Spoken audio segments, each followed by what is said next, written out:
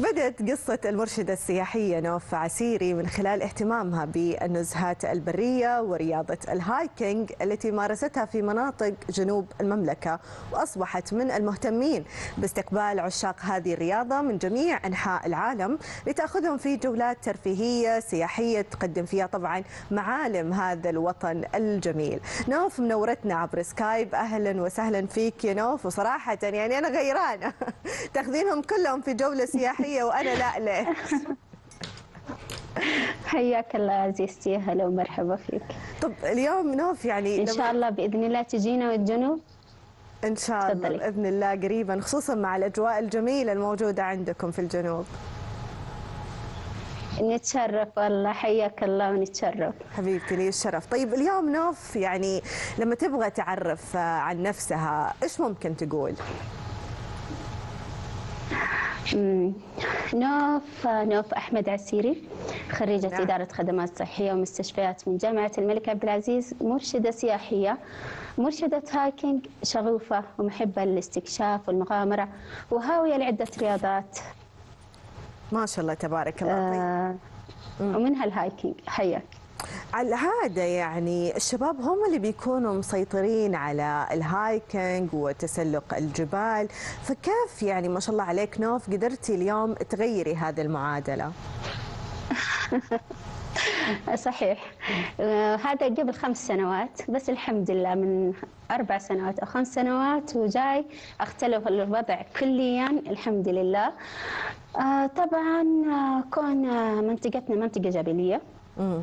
آه كذلك إنه نحتاج التنقل من مكان لمكان آخر آه الشغف والحب آه الهواية الهايكينج آه غير كذا دعم الوالدين الله يحفظهم وكمان لو رجعنا لسنوات الق- الزمن القديم أهالينا أصلا كانوا يتنقلون عن طريق المشي مم. يعني صحيح.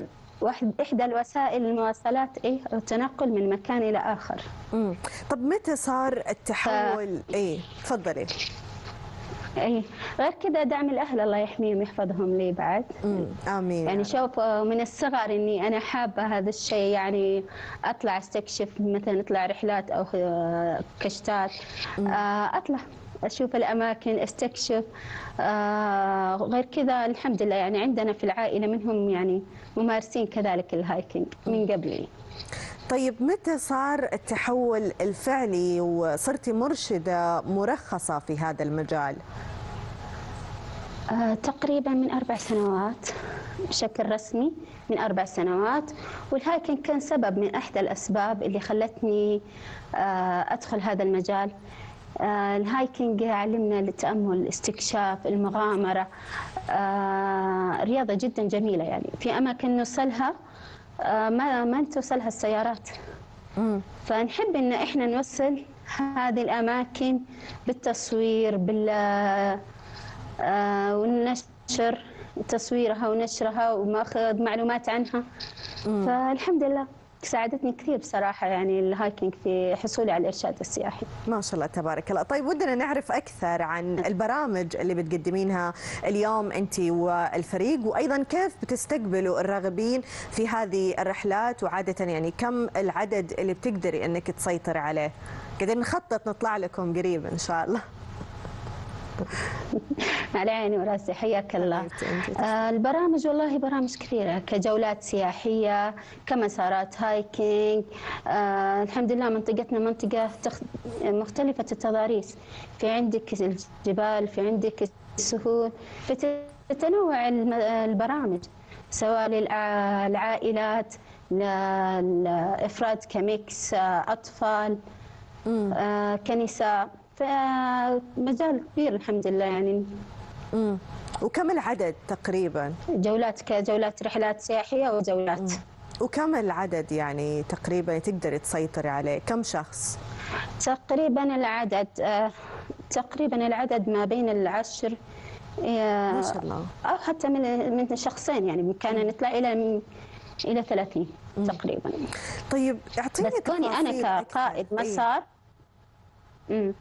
كقائد مسار آه، لابد معايا مساعد كذلك آه، مساعد مؤخرة ومسعف صحيح ولكن أعطيني كذا أيوة. يعني خيارات في هذه الجولات هل فيه أماكن آه. مشهورة عندكم في عسير أيوة. عرفينا عليها حمسينا أكثر أن نجي يعني من أكثر المناطق. اللي آه، لما يجوكم الزوار أو السياح آه، يحبوا جمال الطبيعة أو المنظر الموجود تكلم عن أجمل المناظر كذا حمسيني أكثر نوف السودة صراحة يعني هي منطقتي هي ديرتي. ففيها جدا جدا من الأماكن اللي ما تتوقعين إيش كثر الجمال فيها. عندك منتزه السحاب منظر ومطل جدا جميل. عندك آه، شعف الويمن في عندنا الحمد لله مسارات حتى كثيرة منها مسار الجولي آه، عقبة القرون. كذلك آه، آه، آه، غيمة السحاب. كذلك. جدا جميل. أماكن ومطلات كثيرة. آه كذلك آه عندنا الحبلة. آه عندنا ال- وين أجمل؟ الحبلة. عندنا أي، السنومة عندنا آه أماكن كثير صحيح. في كل مكان في ميزته سواء آه معالم سياحية أم مسارات هايكينج أم كذلك استكشاف ومغامرة. ولما أتكلم يعني عن بيئة كذلك عندك جبلية. رحلات بحرية. آه، ه- الهدر الجبلية. في عندنا كمان الساحل رحلات بحرية مختلفة. في عندنا الحريضة في عندنا شقيق. آه، آه، تمارس كمان رياضة ال hiking على شاطئ البحر.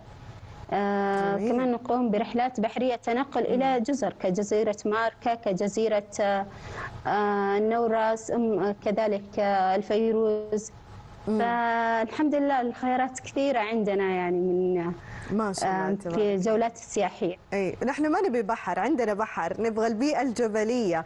ليش؟ لأني أتوقع الحماس بيكون أكبر فيها إذا كان وبيكون أيضا hiking حقيقي. فكيف تحموا نفسكم من أو تحموا نفسكم من المخاطر في هذه التجارب؟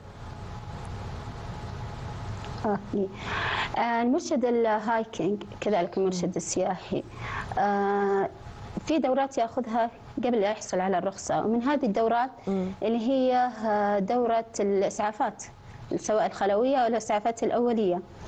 وخاصة في هذه الرياضة يعني خصوصا الإسعافات الخلوية. آه كذلك آه تطوير النفس. يعني أنا طورت نفسي في عدة رياضات منها التسلق. بالحبال والإنزال بالحبال لأنه أحيانا نحتاج التنقل من مكان إلى آخر يصعب علينا إحنا يعني. فيكون التنقل أحيانا حتى في, في الإصابات يكون عن طريق ال- الحبال. فطورت نفسي كذلك في الأمن والسلامة يعني. أطور نفسي في السلامة كدورات. و- ورياضات أخرى كالتسلق. ما شاء الله تبارك الله. ولكن يعني أكيد عدت عليك بعض المواقف الصعبة أو أيضا التحديات اللي مريتي فيها فودي أسمع صراحة منها.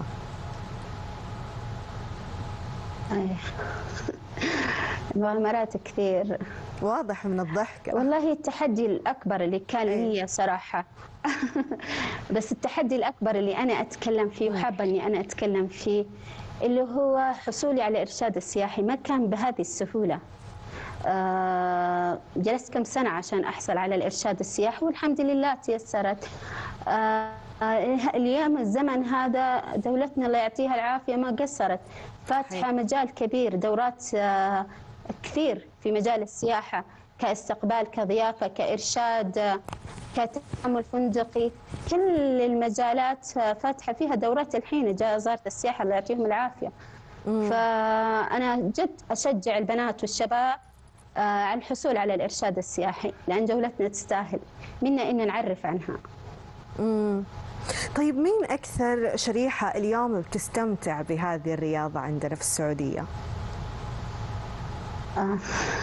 شريحة الشيبان. ليش؟ حتى عند عندنا فريق الشباب فريق اسمه رحالة الشباب ككل بشكل عام أنا أقول لك فيه. أي. بس آه، بصراحة في عندنا هنا في الجنوب آه، فريق رحالة الجنوب. أي. فريق رائع. لو تبحثي عنهم سوي search كلهم من آه، كبار الأعمار. فهم صراحة قدوة لنا في هذا المجال. آه، أحيانا أتمنى حتى أني أمشي معاهم مسار بس لأنه أحيانا أقابلهم روحهم المرحة وروحهم الحلوة هي اللي جمعتهم وخلتهم وخلت هذه الرياضة تحببهم في بعض. صحيح. وأكيد نحن نتعلم منهم دائما الأفضل. يعطيك ألف عافية نوف نورتينا وشرفتينا وإن شاء الله بإذن الله نزورك قريب. حبيبة قلبي. الله. إن شاء الله. حياك الله عزيزتي في أي وقت. الله يحييك. مشاهدينا مكملين معاكم وبعد الفاصل رهف مغربي تتحدث عن تجربتها بين تذوق الطعام وتقييمه.